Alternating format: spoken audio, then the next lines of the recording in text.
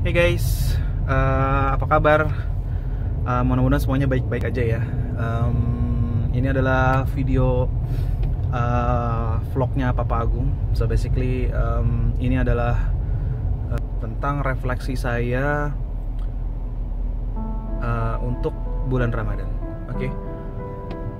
bulan Ramadan adalah bulan di mana uh, penuh dengan memori ya untuk kita terutama yang sudah dewasa atau sudah berkeluarga sudah punya anak.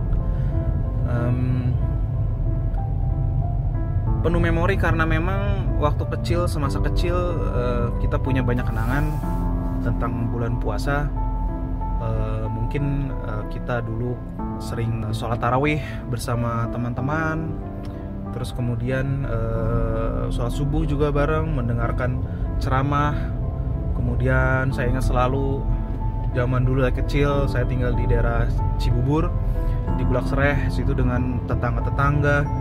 Kita sering main yang namanya macam-macam permainan lah. Mulai dari yang oh, naik sepeda sampai jauh sampai ke Bukit Permai. Dulu ada sebuah perumahan uh, yang besar itu kita orang kampung gitu kan kita di, tinggal di kampung tapi kita jalan ke perumahan itu naik sepeda jalan-jalan itu. Kemudian kita juga sempat bikin mobil-mobilan dari kaleng dan bambu. Terus main petasan banyak teman main petasan.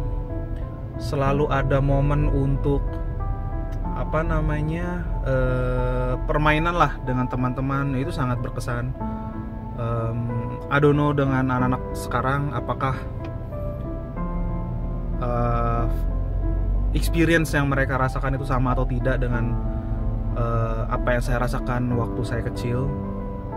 Tapi dulu itu sangatlah berkesan. Nah yang paling saya ingat setiap kali uh, Ramadan adalah uh, dulu kita keluarga selalu ada acara yang namanya uh, apa namanya?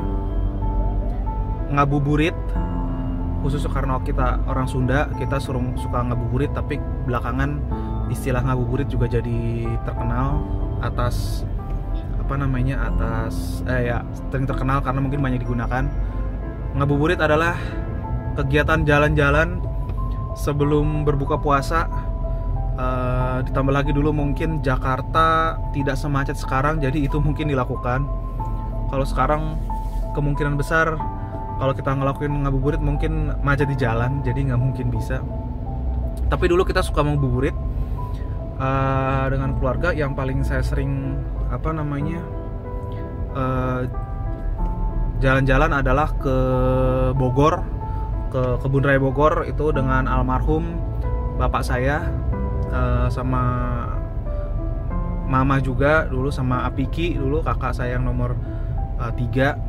Karena kita berdekatan umurnya kita tinggal satu kamar. Uh, jadi paling sering saya dulu berdua diajak ngabuburit oleh mama papa ke uh, Bogor. Biasanya kita suka beli pisang suka beli es krim durian. Nah itu biasanya untuk buka puasa. Nah intinya adalah sebenarnya ditujukan supaya anak-anak ini yang baru pada puasa itu supaya lupa kalau dia puasa uh, dan jadi kuat untuk sampai buka puasa nanti gitu. Jadi spiritnya itu sih dulu almarhum uh, bapak saya ngajak jalan-jalan uh, ngabuburit. Nah itu yang paling berkesan lah buat saya. Ingat memorinya itu banyak sekali termasuk ketika mendekati lebaran dulu kita selalu memiara uh, apa namanya banyak sekali ayam di rumah. Setiap kali lebaran pasti kita uh, sehari sebelum lebaran itu kita motong ayam.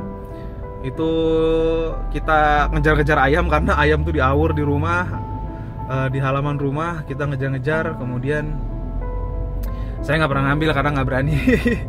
Jadi cuma ikut ngejar-ngejar doang seru-seruannya aja tapi yang dapat yang dapat paling kakak itu ya aga atau siapa gitu yang bisa nangkep terus kemudian motong um, hal yang paling saya ingat sih itu sih jadi Lebaran, eh sorry, uh, puasa itu selalu bulan Ramadan itu selalu ada apa namanya? Ada sentimentalnya lah karena terlalu banyak memori yang di apa namanya tersemat di diri saya khususnya waktu kecil uh, apalagi kalau kemarin uh, dengerin Spotify ada playlist lagu-lagu Ramadan lagu-lagu dulu itu ya ada Bimbo kemudian ada Krisye kemudian ada macam-macam lah banyak uh, apa namanya lagu-lagu uh, Muslim lagu-lagu rohani itu ini banget terasa banget hawa-hawa uh, hawa-hawa suasana zaman dulu Ramadan tuh seperti itu. Nggak tahu sekarang apakah sama yang dihadirkan bulan Ramadan uh, untuk anak-anak misalnya untuk Gani untuk anak-anak zaman sekarang yang mungkin mainnya kebanyakan uh, berkumpul dengan keluarga kemudian mereka bermain games-games digital mereka menonton YouTube segala macam nggak tahu apakah sama tapi mungkin nggak akan pernah sama dengan apa yang kami alami dulu tahun 90-an anak-anak tahun 90-an uh, eh, betapa Ramadan itu sangatlah berkesan gitu. Uh, sangatlah ada terasa banget deh gitu. Um, specifically apa namanya setiap bulan Ramadan ini tentunya saya ingin mem membacakan doa untuk uh, almarhum bapak saya karena Sungguh terasa setiap kali bulan Ramadan betapa beliau mencintai mencintai anaknya. Memorinya begitu besar.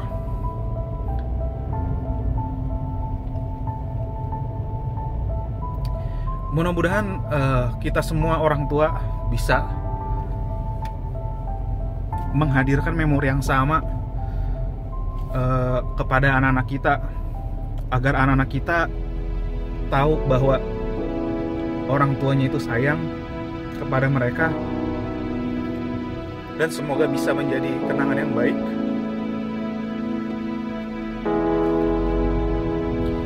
Semoga anak-anak sekarang kita bisa mengerti bahwa makna Ramadan itu banyak, makna berbagi kepada saudara, kepada orang-orang banyak,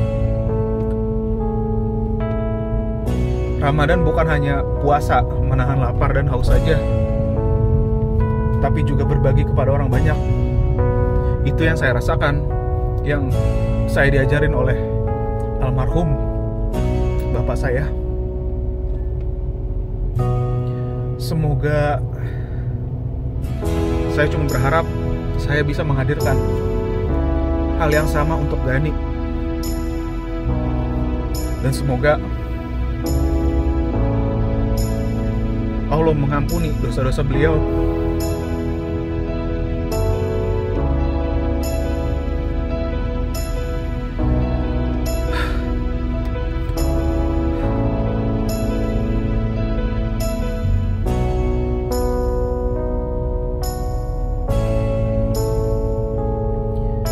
menempatkan beliau di sisinya dan bisa uh, menyatukan beliau dengan umat Nabi Muhammad SAW di hari akhir kelak nanti. Demikianlah apa uh, teman-teman uh, viewers uh, channel kami. Uh, ini adalah refleksi Ramadan dari saya. Uh, semoga Allah Subhanahu Wa Taala menerima amal ibadah kita selama bulan Ramadan. Semoga uh, apa namanya yang kita harapkan kita bisa kembali menjadi uh, insan yang bersih dari dosa karena kita sudah di restart. Insya Allah Allah meridoi segala ibadah kita. Uh, thanks for watching please komen ya jika ada hal spesifik waktu kalian kecil uh, hal apa aja yang di, uh, dilakukan bersama keluarga, bersama teman.